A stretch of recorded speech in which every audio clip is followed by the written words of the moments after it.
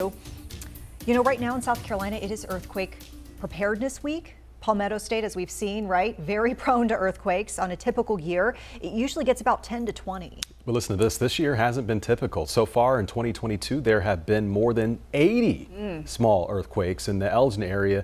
That is outside of Columbia. Here's some video from a quake there back in June. Yeah, later this week, both Carolinas are actually going to take part in the Great Southeast Shakeout Drill. This is where participants will practice safety steps of drop, cover, and hold on.